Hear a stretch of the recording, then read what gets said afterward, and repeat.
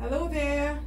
Hi, I'm Esther Jones of Study Abroad Student Services. So glad to be in your uh, view today and to discuss a couple very important things that have to do with studying abroad at college and university.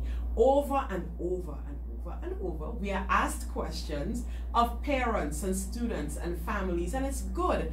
And they are great questions that they ask concerning how can they save time, how can they save money with respect to this decision to study abroad. How? You have to plan. You must plan ahead. I would always suggest at least two years ahead. If not, then worst case scenario, plan one year ahead.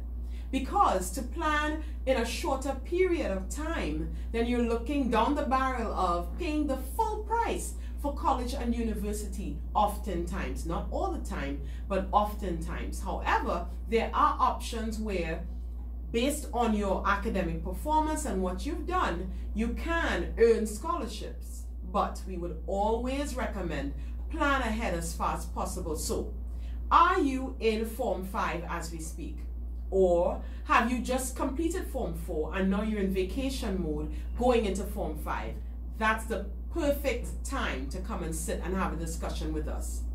And or are you in Form 5 and you complete you're about to transition into Form 6, likely lower 6. It's the next best time. And then our last uh, opportunity, as far as we are concerned, before it becomes a, a, a situation where you're going into overtime, as it were, and you're spending unnecessary time and money is that lower six into upper six window of time.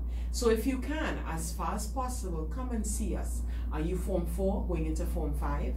Are you Form 5 going into lower 6? Are you lower 6 transitioning into upper 6? Great. Call us. 1 345 4846 or 1 276 9903 or check us out online and book an appointment, book a consultation at www.1sass.com. Talk soon. Bye bye.